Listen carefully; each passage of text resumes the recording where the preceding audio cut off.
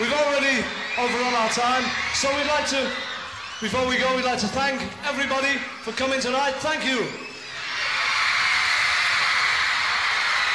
Thank you all. We'd like to do another song which is quite an old song in America, but it's one that's always been a big favourite of ours.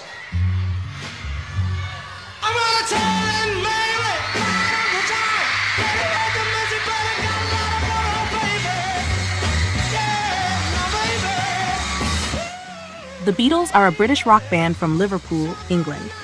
The core of the group began with the Quarrymen, founded by John Lennon in 1957. In 1960, they adopted their new name, and by 1962, they settled into their final lineup with John Lennon, Paul McCartney, George Harrison, and the last to join, Ringo Starr. The Beatles are considered the most popular and influential rock band in history.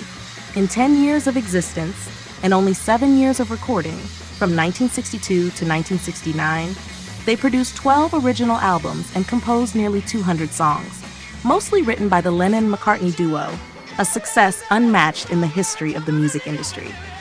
At the end of 1961, Brian Epstein became their manager and introduced the group to several record labels, initially without success.